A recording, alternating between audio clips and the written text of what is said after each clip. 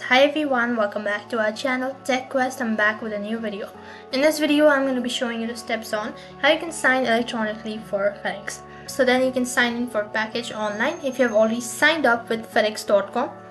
So what you need to do is you need to log in into your account. So then logged into your account and then you need to head over to the delivery management page and click on the incoming packages on your dashboard.